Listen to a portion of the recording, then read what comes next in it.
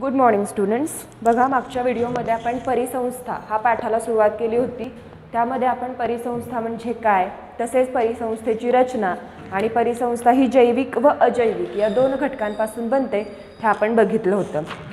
तर आता आपण या व्हिडिओ लेक्चरमध्ये परिसंस्थेचे प्रकार कोणकोणते असतात? म्हणजे बघा जैविक घटकांवर परिसंस्थेचे वेगळे प्रकार पडतात. अजैविक घटकानुसार परिसंस्थेचे वेगवेगळे प्रकार पडत असतात. तर बघा आपल्याला माहिती आहे की पृथ्वीवरील काही भागात बऱ्याच मोठ्या क्षेत्रामध्ये हवामान व अजैविक घटक सर्वसाधारणपणे असतात. म्हणजे जर काही पृथ्वीचा काही भाग असा आहे जेथे वातावरण एकदम उष्ण असतं तर काही भागामध्ये वातावरण एकदम थंड असतं. म्हणजे उदाहरणार्थ पृथ्वीवरील जो अंटार्क्टिका भाग आहे त्या भागामध्ये अगदी झिरो डिग्री सेल्सिअस म्हणजे शून्य तापमानापेक्षा तापमान असतं. तिथे सदा म्हणजे वर्षाची बारा महिने तिथं बर्फच असतो कारण तिथलं जे तापमान आहे ते अधिक थंड असतं. त्याप्रमाणे जर उष्णकटिबंधीय प्रदेशामध्ये आपण गेलो तर तेथे अगदी उष्ण वातावरण असतं. म्हणजे वर्षाचे बाराही महिने पूर्ण उष्णच वातावरण आपल्याला तेथे पाहायला मिळतं. तशा प्रकारे त्यामुळे एका विशिष्ट परि स्वरूपाची परिसंस्था बऱ्याच मोठ्या क्षेत्रात तयार होत असते. म्हणजे या ज्या मोठमोठी जी क्षेत्रं आहेत काही उष्ण हवामानाची क्षेत्र आहेत काही थंड हवामानाची क्षेत्र आहेत तर यांच्यानुसार एक खूप मोठी अशी परिसंस्था तयार होत असते. अशा मोठ्या परिसंस्थांना आपण बायोम्स असं म्हणतो. म्हणजे बघा.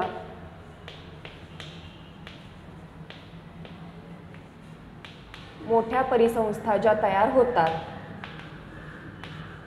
त्यांना आपण बायोम्स असं म्हणतो.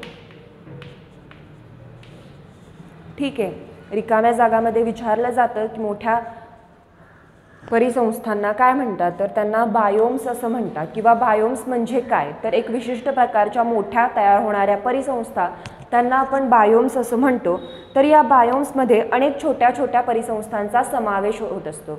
म्हणजे बघा एक मोठी परिसंस्था असेल जिथलं पूर्ण वातावरण हे थंड असेल तर त्या वाता परिसंस्थेमध्ये सुद्धा छोट्या छोट्या काही परिसंस्था असतात जिथे काही भागामध्ये थोडंसं थंड काहीमध्ये दमट तर काहीमध्ये उष्ण वातावरण किंवा काही घटकां जैविक व अजैविक घटकांमध्ये बदल झालेला त्यांच्या गुणधर्मामध्ये बदल झालेला आपल्याला दिसून येतो. म्हणजे अशा ज्या छोट्या छोट्या परिसंस्था आहेत त्या या मोठ्या परिसंस्थेत म्हणजे बायोम्समध्ये आपल्याला आढळून येतात किंवा पाहायला मिळतात. तर पृथ्वी ही एक विस्तीर्ण परिसंस्था आहे. म्हणजे आपण पृथ्वीलासुद्धा बायोम्स म्हणू शकतो. कारण पृथ्वी एक सर्वात मोठी परिसंस्था आहे आणि त्या परिसंस्थेमध्ये आपण अनेक छोट्या छोट्या परिसंस्था तयार झालेल्या आपल्याला दिसून येतात. पृथ्वीवर प्रामुख्याने दोन प्रकारच्या मुख्य परिसंस्था आढळतात. तर प प्रामुख्याने परिसंस्थेचे दोन मुख्य प्रकार आहेत. त्यातलं भूपरिसंस्था आणि जलीय परिसंस्था.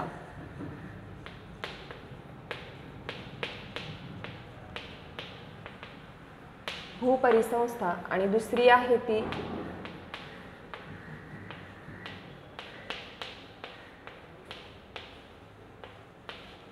जलीय परिसंस्था. भू म्हणजे काय? तर जमिनीवर असणारी परिसंस्था आणि जलीय म्हणजे पाण्यामध्ये असणारी परिसंस्था.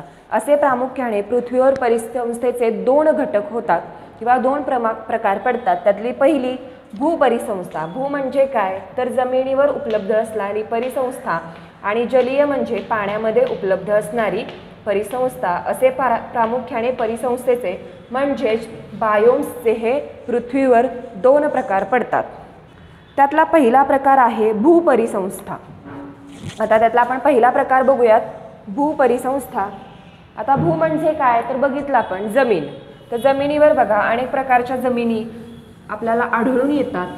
जमिनीमध्ये सुद्धा वेगवेगळ्या प्रकारच्या खडकाळ मुरमाड अशा रेताड अशा प्रकारच्या जमिनी असतात. तर त्यामध्ये बघा जी परिसंस्था फक्त भूभागावरच म्हणजे जमिनीवर असतात किंवा अस्तित्वात येतात त्यांना भूपरिसंस्था असे म्हणतात. म्हणजे जमिनीवर असणारी परिसंस्था तिला आपण भूपरिसंस्था असे म्हणतो. तर अजैविक घटकांचे वितरण भूतलावर समान आहे. म्हणजे जेवढे अजैविक घटक पृथ्वीमध्ये आहेत त्यातले सगळेच्या सगळे जे अजैविक घटक आहेत ते भूतलावर म्हणजे आपल्याला जमिनीवर आढळून येतात आणि ते समान सर्व ठिकाणी कोणत्याही प्रकारच्या जमिनीमध्ये समान असल्याचेच आपल्याला दिसून येतात. त्यामुळे वेगवेगळ्या प्रकारच्या परिसंस्था निर्माण झाल्या आहेत. त्यामुळे बघा या अजैविक घटकांमुळे काय झालेलं आहे तर भूपरिसंस्थेमध्ये सुद्धा वेगवेगळ्या अनेक प्रकारच्या ज्या परिसंस्था आहेत त्या तयार झालेल्या आहेत. उदाहरणार्थ गवताळ प्रदेशातील परिसंस्था सदाहरित जंगलातील परिसंस्था उष्ण वाळवंटातील परिसंस्था बर्फाळ प्रदेशातील परिसंस्था आणि तैगा प्रदेशातील तसेच विषुववृत्ती वर्षावनांची परिसंस्था. त्यामधलं आपण पहिलं बघणार आहोत गवताळ प्रदेशातील परिसंस्था. म्हणजे भूपरिसंस्थेमधला पहिला जो घटक आहे तो आहे गवताळ प्रदेश किंवा गवताळ प्रदेशातील परिसंस्था. आता गवताळ प्रदेश म्हणजे काय? बघा तर ज्या प्रदेशामध्ये आपल्याला भू जम जमिनीवर अनेक प्रकारची विविध गवते पाहायला मिळतात त्या परिसंस्थेला आपल्याला गवताळ प्रदेश म्हणतो. तसेच ज्या प्रदेशात पावसाचे प्रमाण मोठमोठी झाडे वाढवण्यासाठी पुरेसे नसते त्या ठिकाणी गवताळ प्रदेश तयार होतात. म्हणजे बघा झाडांची वाढ होण्यासाठी त्यांना पाण्याची सूर्यप्रकाशासोबतच त्यांना पाण्याची पण गरज असते. परंतु काही प्रदेश असे असतात जेथे पुरेशा प्रमाणात पाऊस पडत नाही आणि पाऊस अपुरा पडला की झाडांची वाढसुद्धा व्यवस्थित होत नाही. मग ती खुरटी किंवा छोट्याशाच उंचीची राहतात. किंवा ते गवत आहे तसंच राहतं त्यांची उंची वाढत नाही. मग अशा प्रदेशाला आपण गवताळ प्रदेश असे म्हणतो. आणि या प्रक प्र या परि प्रकारच्या परिसंस्थामध्ये गवताची वाढ ही मोठ्या प्रमाणात झालेली दिसून येते. म्हणजे तेथे झाडांची वाढ जास्त प्रमाणात होत नाही ती झाडांची उंची वाढत नाही. परंतु जी गवत असतात त्या गवतांना तो पाऊस पुरेसा असतो. त्यामुळे तेथे गवतांची मोठ्या प्रमाणावर वाढ झालेली आपल्याला दिसून येते. म्हणून त्या प्रदेशाला आपण गवताळ प्रदेश असे म्हणतो. म्हणजे गवतांची वाढ जेथे होत असते किंवा झालेली असते अशा प्रदेशाला आपण गवताळ प्रदेश असे म्हणतो. आणि हे गवताळ प्रदेश काय होतात? तर मोठा उन्हाळा आणि माफक पाऊस यांमुळे खुरट्या वनस्पतींची वाढ होते. मोठा उन्हाळा म्हणजे इथे उन्हाळ्याचा चार महिन्यापेक्षा अधिक जास्त उन्हाळा असतो जास्त महिने उन्हाळा असतो आणि पावसाळा हा कमी असतो. त्यामुळे झाडांची व्यवस्थितपणे वाढ होत नाही त्यांना पुरेसे पाणी मिळत नाही पाऊस उपलब्ध होत नाही त्यामुळे झाडांची उंची वाढत नाही ती छोटी छोटीच खुरट्या आकाराची राहिली जातात. त्यामुळे काय होतं तर हे असे जे गवताळ प्रदेश आहे तेथे शेळी मेंढी जिराफ झेब्रा हत्ती हरिण चितळे वाघ सिंह इत्यादी प्राणी या प्रदेशामध्ये मोठ्या प्रमाणात आढळतात. तसेच विविध पक्षी कीटक व सूक्ष्मजीवसुद्धा आढळतात. कारण बघा शेळी मेंढी जिराफ झेब्रा हत्ती हे काय आहेत? तर हे शाकाहारी प्राणी आहेत जे या गवतावर अवलंबून असतात. आणि ज्या भागामध्ये गवत जास्त असतं तेथे या प्राण्यांची संख्यासुद्धा आपल्याला जास्त असलेली पाहायला मिळते. कारण हे प्राणी जे आहेत ते गवतावर जगत असतात. आणि गवताळ प्रदेशामध्ये गवताची जी वाढ होत असते ती भरपूर प्रमाणात असते. त्यांना पुरेसं अन्न खायला उपलब्ध होत असतं. त्यामुळे यांसारखे जे शाकाहारी प्राणी आहेत ते गवताळ प्रदेशामध्ये आपल्याला जास्त पाहायला मिळतात. तसेच या प्राण्यांवर अवलंबून असणारे जे बाकीचे प्राणी आहेत मांसाहारी वाघ सिंह चित्ते हे सुद्धा या प्रदेशामध्ये जास्त आढळतात. कारण जिथे या मे शेळी मेंढी जिराफ या प्राण्यांची संख्या जास्त असल्यामुळे जे मांसाहारी प्राणी आहेत त्यांनासुद्धा पुरेशा प्रमाणात आहार उपलब्ध होतो. म्हणून गवताळ प्र प्रदेशामध्ये शाकाहारी व मांसाहारी असे दोन्ही प्रकारचे प्राणी आपल्याला पाहायला मिळतात. त्या म्हणजे यामध्ये बघा पहिला जो आपला प्राथमिक किंवा उत्पादक म्हणजे उत्पादन कशापासून होतं? तर यामध्ये जर समजा आपण उत्पादकाचा जर घटक घेतला तर गवत काय आहे? हे उत्पादक आहे. आणि या उत्पादकावर जे जगणारा प्राथमिक भक्षक जर आहे ते किंवा हरिण हत्ती शेळी मेंढी असं आपण म्हणू शकतो. हे झालं प्राथमिक भक्षक. त्यानंतर द्वितीय भक्षक जो आहे यांच्यावर जगणारा तो कोल्हा किंवा लांडगा. आणि तृतीय भक्षक आपण म्हणू शकतो सिंह वाघ कारण हे कोल्हा लांडग्याची शिकार करून ते जगत असतात. आणि विघटक आणि त्यापासून राहणारी जी मृत शरीरे असतात त्यांच्यामध्ये जे विघटक असतात ते आपण सूक्ष्मजीव म्हणू शकतो. स्मुक्ष सूक्ष्मजीव काय करतात? तर राहिलेल्या मृत शरीराचे विघटन करत असतात. म्हणजे याच्यामध्ये पण आपल्याला उत्पादक प्राथमिक भक्षक द्वितीय भक्षक तृतीय भक्षक आणि विघटक हे घटक आपल्याला गवताळ प्रदेशाच्या परिसंस्थेत सुद्धा पाहायला मिळतात. मग अशा प्रकारे बघा गवताळ परिसंस्थामध्ये काय होत असते? तर तेथे उन्हाचा उन्हाच्या अभावी किंवा पावसाच्या पाण्याअभावी तेथे झाडांची वाढ व्यवस्थित होत नाही. परंतु हे तापमान गवत वाढीसाठी पुरेसं असतं. त्यामुळे तेथे गवतांची वाढ ही आपल्याला जास्त प्रमाणात झालेली आढळून येते. त्यानंतर दुसरी परिसंस्था आहे ती जंगलातील परिसंस्था. जंगल आता आपल्याला माहीत आहे. जंगलामध्ये काय असतात? फक्त झाडेच झाडे आपल्याला वेगवेगळ्या प्रकारची झाडे झाडे अनेक ठिकाणी दिसून येतात. तर बघा ही निसर्गनिर्मित परिसंस्था आहे. म्हणजे जंगल परिसंस्था कशी आहे? तर निसर्गनिर्मित पूर्णपणे निसर्गाने स्वतः तयार केलेली किंवा निसर्गातून तयार झालेली जी परिसंस्था आहे तिला आपण जंगल परिसंस्था असे म्हणतो.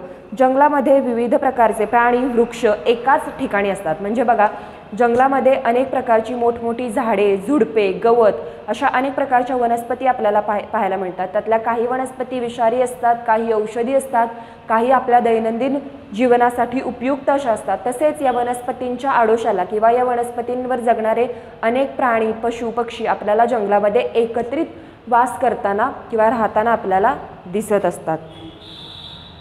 तसेच अजैविक घटकांमध्ये जमिनीत व हवेत असणारे सेंद्रिय असेंद्रिय घटक हवामान तापमान पर्जन्यमान हे जे घटक आहेत ते वेगवेगळ्या प्रमाणामध्ये आढळतात. म्हणजे बघा जंगलामध्ये पाऊस तापमान किंवा हवामान घटक ह्या सगळ्या वेगवेगळ्या ज्या गोष्टी आहेत त्या वेगवेगळ्या प्रकारामध्ये आपल्याला पाहायला मिळतात. कारण जंगलाच्या क्षेत्रामध्ये काय होतं तर खूप प्रमाणे झाडे असतात आणि झाडे जास्त प्रमाणात झाडे उपलब्ध असल्यामुळे तेथे खूप प्रमाणावर पाऊस पडतो. कधीकधी तिथलं हवामान खूप थंड होऊ शकतं. तर कधीकधी दमट पण होऊ झालेलं आपल्याला दिसून येतं.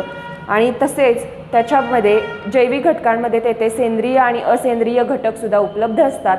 आणि यांचा प्रत्यक्ष पर्जन्यमान हवामान तसेच तापमान या घटकांवर परिणाम झालेला आपल्याला दिसून येतो. आणि ज्या क्षेत्रामध्ये जास्त प्रमाणात झाडे असतात त्या क्षेत्रामध्ये पावसाचे म्हणजे पर्जन्याचं प्रमाणसुद्धा आपल्याला वाढल्याचं दिसून येतो. त्यामुळे कधीकधी जंगलामध्ये खूप प्रमाणात पाऊस झालेला आपल्याला बघायला मिळतो. त्यानंतर बघा जंगल परिस्थितीमध्ये आता उत्पादक काय आहे?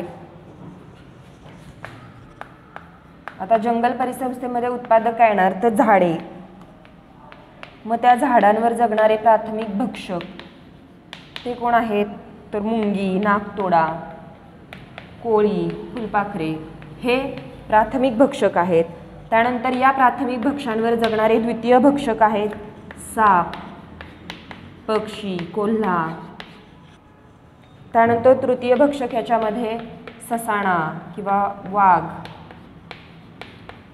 आणि सूक्ष्मजीव आपल्याला विघटक जे असतील ते कोणत्याही प्रकारचे सूक्ष्मजीव जे मृत शरीरावर जगत असतात. म्हणजे आपल्याला जंगल परिसंस्थेमध्ये सुद्धा काय दिसून येतं? तर एका प्रकारची एक साखळी तयार झालेली अन्न साखळी म्हणू शकतो आपण तिला तयार झालेली आपल्याला यामध्ये दिसून येते. तर अशा प्रकारची जी आपली पहिली परिसंस्था आहे भूपरिसंस्था जिला आपण म्हणतो की जमिनीवर तयार होणारी किंवा जमिनीवर असणारी जी परिसंस्था आहे तिला आपण भूपरिसंस्था असे म्हणतो. तर ही भूपरिसंस्था दोन प्रकारात येते. त्यातला पहिला आपण बघितला गवताळ प्रदेश आणि दुसरा होता जंगल परिसंस्था. गवताळ प्रदेशामध्ये काय होतं? तर तेथे भरपूर प्रमाणात आपल्याला गवत असल्याचं दिसून येतं आणि जंगल परिसंस्थेमध्ये काय होतं? तर भरपूर प्रमाणात जंगल म्हणजे वेगवेगळ्या प्रकारची झाडे आपल्याला पाहायला मिळतात.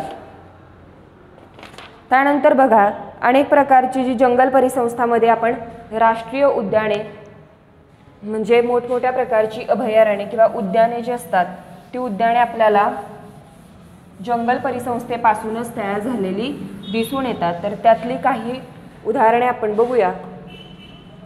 तर बघा पहिलं राष्ट्रीय उद्या उद्या उद्यान किंवा जे अभयारण्य आहे ते गीर.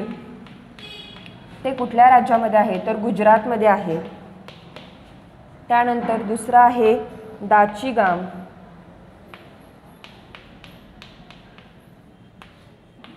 ते जम्मू काश्मीरमध्ये आहे.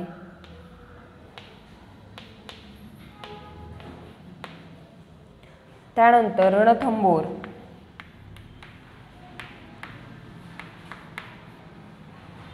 हे राजस्थानमध्ये आहे. त्यानंतर दाजीपूर.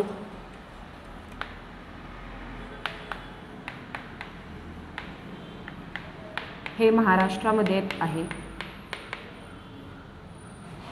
आणि काझीरंगा जे गव्यांसाठी प्रसिद्ध असं अभयारण्य आहे ते आपल्याला आसाममध्ये असल्याचं पाहायला मिळतं तर अशा प्रकारची जी सर्व अभयारण्ये किंवा राष्ट्रीय उद्याने जी आहेत ते आपल्याला जंगल परिसंस्थेमध्ये असलेली दिसून येतात. कारण या अभयारण्यामध्ये वेगवेगळ्या प्रकारच्या वनस्पती तसेच वेगवेगळ्या प्रकारचे प्राणी असल्याचे आपल्याला पाहायला मिळते.